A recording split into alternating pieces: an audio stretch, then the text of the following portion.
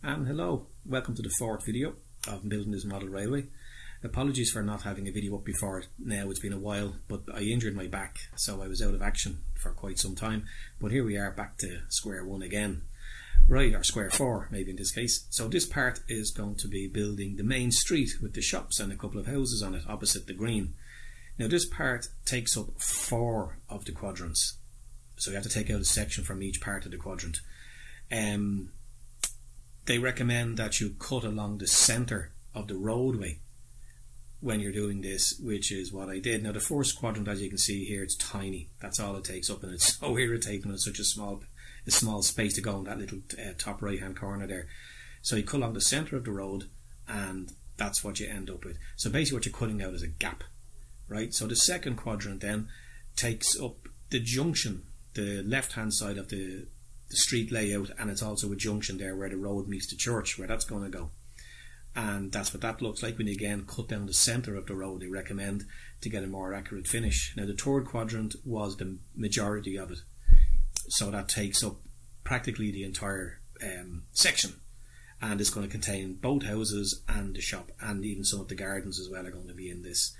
Um, and once again, cutting down the centre, you have your massive part of the template, which will join up with the other two so far. Now, the fourth part takes up, is usually only a bit of the road. That's all that's going to be. And this will be the road that will be opposite the green, which is opposite the, the train station. So again, cutting down the middle, you have your template now ready. So the next thing to do now is to join all these together because when they fit together, that, that's where they're going to go. They should fit in there perfectly. That's where the main street area is going to be. So here we are, the four quadrants all stuck together. That's what they're going to look like, and this forms your template then to build on. So taping them all together, I put them onto some grey card and build it, out this template as you can see it here. Unfortunately, the grey card wasn't long enough, so I had to use two sections and just tape it together. But it's no big deal because it's all going to be placed on mounting board to give it some thickness anyway. So that's what that looked like, and as you can see, that's where it fits. Now, to get the pavement, as you Americans call it, as we call it over here in Ireland, the pat, they do print it out in the magazine for you, and it's all lined and everything, so it's, it's fairly straightforward, fairly easy to do. Um, for some reason, I got two copies of it. They printed out an error one apparently, so they gave us fresh one.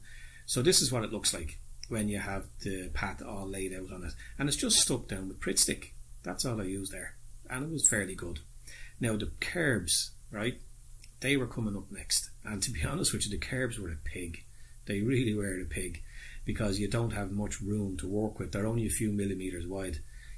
And to try and get them level, as you can see here, I was using a cutting board to try and get the, the, the same width all the way along the entire um, template. So again, stuck down with Pritt stick, took a bit of an effort, especially going around the bends, as you can see there. So hopefully when it dries out, it'll look good. So the next stage for this would be to stick it onto mounting board, tick it up, and move on to the next stage. So hope you enjoyed that. Look forward to the next video.